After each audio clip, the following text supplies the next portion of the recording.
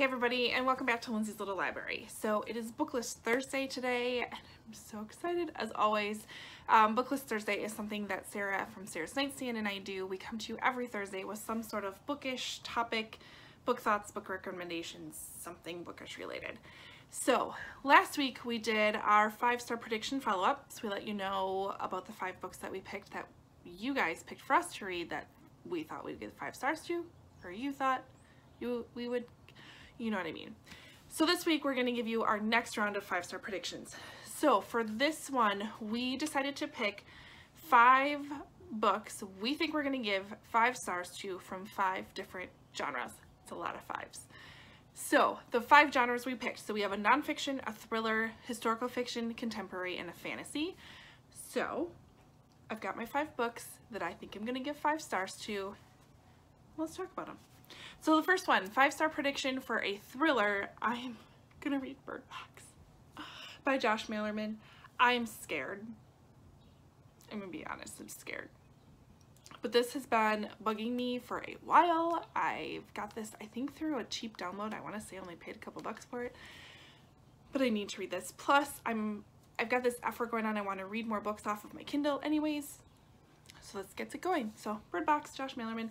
It's about think we're set in a dystopian universe where you cannot go outside. If you make eye contact with whatever creatures out there, you, you die. So they have to leave because I think they're running out of food.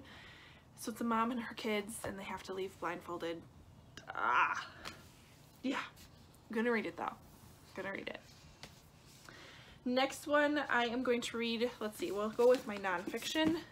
I'm picking up Educated by Tara Westover. I'm gonna do it. It's happening. This follows, it's a memoir of Tara's life. She grew up off the grid um, with her parents who raised her completely, like they did not believe in doctors, they did not believe in traditional school.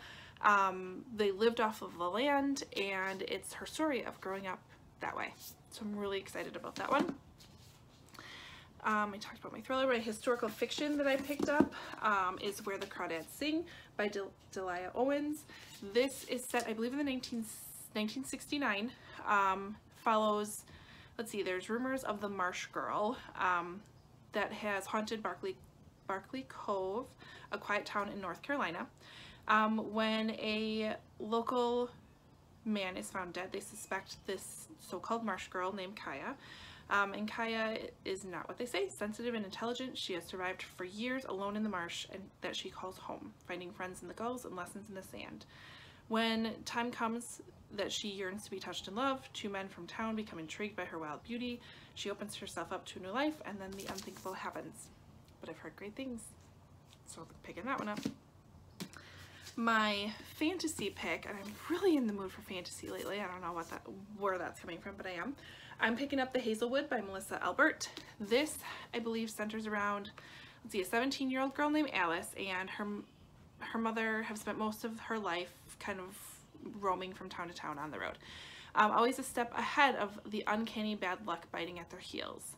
But when Alice's grandmother, um, who's the author of um, a book of pitch dark fairy tales called The Hazelwood, um, she passes away alone at her estate. Alice learns how, learns how bad her luck can really get when her mother is stolen away by a figure who claims to come from the supernatural world called the Hazelwood.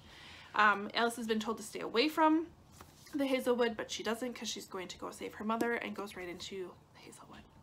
And I'm so excited for it. And lastly, my contemporary pick Again, it's a newer book that I bought. Like, I just picked up this book and I just bought this one, but that's okay. I'm excited for them. Um, is The Girl He Used to Know by Tracy Garvis Graves. I fell in love with Tracy Garvis Graves when she, when I read her book on the island. Um, like totally fell in love with it. Five star book, absolutely. So I'm excited to pick this one up. And I believe this follows two people, Annika and Jonathan, who kind of find the love early on. And Annika's a little little odd. And something happens, it breaks them up, but years later they find each other again, but yet they still have to get over whatever happened in the past. I don't know, I don't care. I've heard really great things. I've heard people cry when they read it. I'm prepared, don't worry, but I picked that one up. So those are my five, my next five books that I predict are five stars for me. Um, I believe we usually give about three months for us to read these books. So we'll be back with a wrap up. Oh geez. So we have May, June, July, end of July, beginning of August, something like that. We'll let you know. Um, and I'll let you know how these went. I'm super, super excited. Okay, I'm excited for four and super, super scared for one, but it'll be good. It'll be good. Um, leave a comment down below. Are any of these books five stars in your eyes? Which one should I start with? Um, and am am I gonna survive the bird box? Am I gonna have nightmares? Should I only read that during the day? I don't know. Comment below, let me know. I gotta like mentally prepare for that book. Otherwise, like, subscribe, go over to Sarah's channel, check out and see what her next five-star predictions are. I'm always excited to see what she's got on her list. Otherwise, I will see you guys next time. Bye.